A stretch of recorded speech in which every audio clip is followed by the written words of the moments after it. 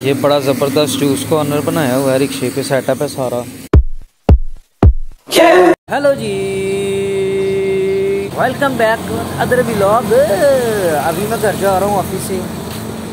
बारिश होके रुकी है। पानी खड़ा हो गया इतना।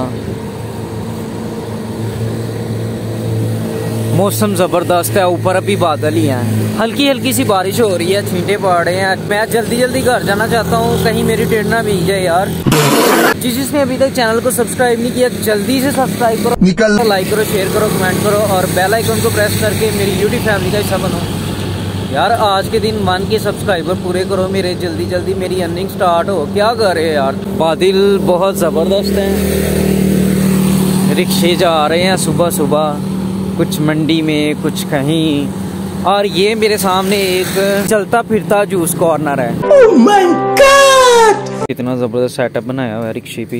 ये शॉप है प्रॉपर और ये ऐसे ही चलता फिरता जूस कॉर्नर है। अनार का गिलास तीन सौ रुपये का मीठा glass one fifty grapefruit glass भी वन फिफ्टी और मौसमी ग्लास भी वन फिफ्टी कमाल कर दिया यार। और अब मैं जा रहा हूँ यार घर। जल्दी जल्दी चला जाऊँ, कहीं फिर से बारिश में स्टार्ट हो जाए। अगर इस साइड पे आपको सूरज दिखाता हूँ, वो सूरज तलू हो रहा है। दीवार के बिल्कुल ऊपर। बहुत ही प्यारा नज़ारा है। अब मैं जा रहा हूँ घर।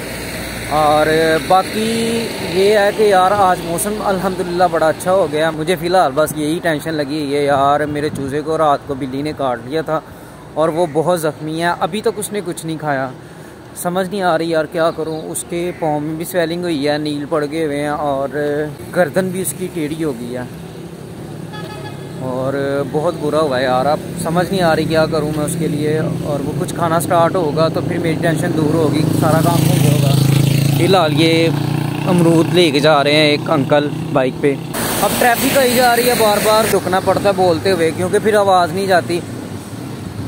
मज़ा सारा ख़राब हो जाता है। बर्फ़ लेके आ रहा है बाइक पे। ये बर्फ़ से हेल कर रहा है बारिश में। ये हर बंदा काम कर रहा है। ये देखें। हाफ़ ब्लाक पीछे टोकरी से लगाई ये बाइक है और हाफ़ ब्लाक रखा हुआ उसमें। और कैसे लेके जा रहा है बर्फ़ सेल करने के लिए, अपने बच्चों के लिए रिजक कमा रहा है।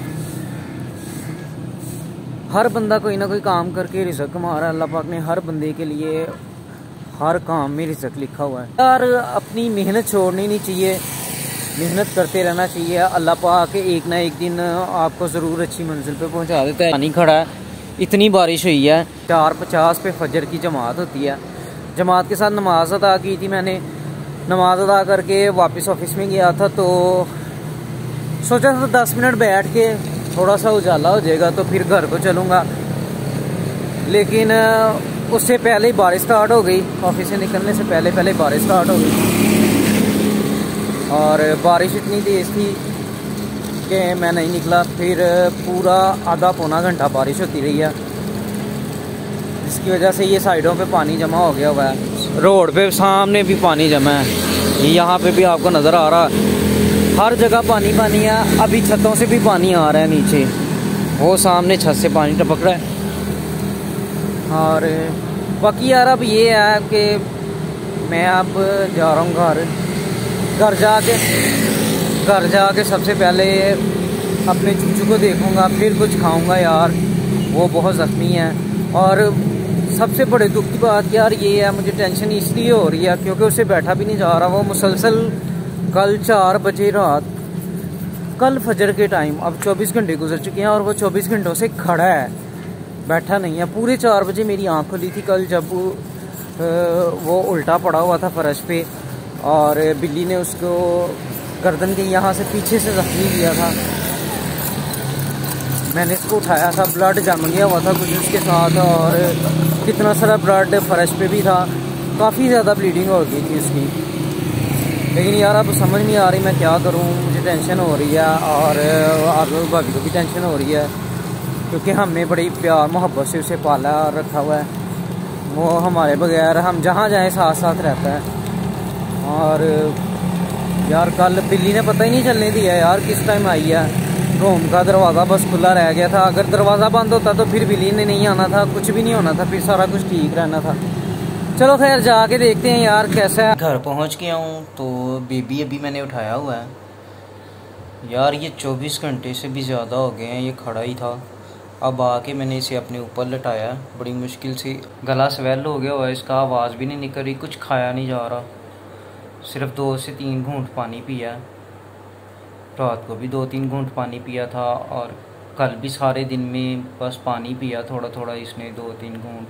पूरा स्वेल हो गया हुआ है कि टांगें भी अकड़ गई हैं, गर्दन भी अकड़ गई हुई है। इससे कुछ खाया नहीं जा रहा। गर्दन अकड़ के तो टेढ़ी हो गई है। पाँव भी एक स्वेल है इसका। अभी मैंने अपने ऊपर ऐसे लटाया तो लेटा नहीं तो कल से ऐसे ही खड़ा था। आज आप तकरीबन छः बजने वाले हैं और कल चार बजे से लेके अभी तक ये ऐसे ही खड़ा है। बैठा ही नहीं जा रहा उससे, ना गर्दन हिलाई जा रही है। गर्दन भी ऐसे ही स्टील हो गई है अंदर को। अभी बस ये सही होगा तो फिर कुछ होगा। अभी मैं इसको कुछ खिला पिला लूँ, बारिश फिर से स्टार्ट हो गई है। शुक्र है मैं टाइम से घर पहुँच गया हूँ। और ख़ुद भी कुछ खा लूँ थोड़ा सा। बहुत तेज़ बारिश आई है, अचानक से। तो शुक्र है यार, बारिश तेज़ होने से पहले, दोबारा बारिश तेज़ होने से पहले मैं घर पहुँच गया हूँ। तो ये कुछ सूरत हाल है, बारिश की ऊपर बादल बहुत ज़्यादा गहरे हैं अभी भी। तो अल्हम्दुलिल्लाह यार, बारिश हो गई है, मौसम थोड़ा ठीक हो जाएगा। अब मौसम में तब्दीली आना शुरू हो जाएगी। जो गर्मी की शिद्दत है, वो कम हो जाएगी तो सुकून हो जाएगा यार।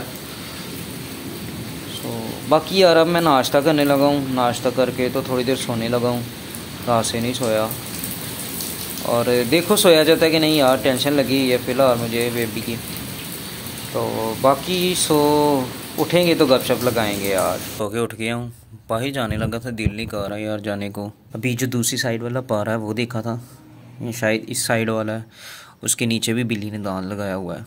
अभी तक इसने कुछ नहीं खाया। पानी पी रहा है, बस साँसें कितनी तेज़ तेज़ ले रहा है। आँखें भी नहीं खोल रहा। पता नहीं, अभी से रिकवर होते होते कम से कम एक डेढ़ हफ़्ता लग जाएगा। जितना ज़ख्मी हो गया हुआ है। पहले भी बिल्ली ने काटा था यार, पता नहीं किसकी नज़र लग गई है। बड़ा प्यार था इससे। जहाँ जाता है, हमारे साथ साथ जाता है। किसी की बुरी नज़र लग गई है। कितनी तेज़ तेज़ साँसें ले रहा है अभी भी अब दिल नहीं कर रहा। देखिए कैसे पेन से बेचारा तड़प रहा है। गर्दन ऐसी टेढ़ी हो गई है। ये हालत है।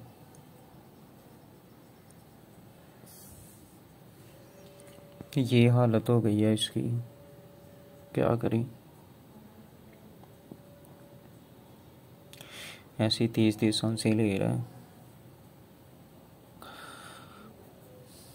यार, कुछ भी करने को दिल नहीं कर रहा। मैंने बाहर जाना था व्लॉग बनाने के लिए, लेकिन अब दिल नहीं कर रहा इसको देख के, इसकी तबीयत इस तरह की हो गई है। ना बैठा जा रहा है। ये अभी भी इसका एक पाँव, देखे, दोनों ही पाँव नीले हो गए हुए हैं। अब तो पाँव पे वज़न भी नहीं डाल रहा। सुबह इसकी टांगें अकड़ गई ही थी तो इसको अपने ऊपर लटाया था, टांगे थोड़ी सी टेढ़ी की थी। ये फोल्ड की थी, टांगे तो हुई थी, नहीं तो ये टांगे भी फोल्ड नहीं कर रहा था। हालत थोड़ी ख़राब हो गई थी। तो अब पहले से शुक्र है, बेहतर है।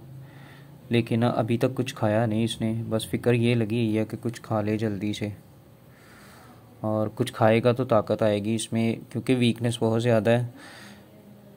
वीकनेस इसलिए हो गई है सारा इसका, सारी ब्लीडिंग हो गई थी। मेरे ख्याल से थोड़ा सा इसमें खून रह गया होगा, बाकी बाकी सारा खून निकल गया था। इसके ऊपर भी खून जमा हुआ था यहाँ पे। तो यहाँ से इसके बाल काटे हैं थोड़े से तो फिर ज़ख़म नज़र आया तो उसके ऊपर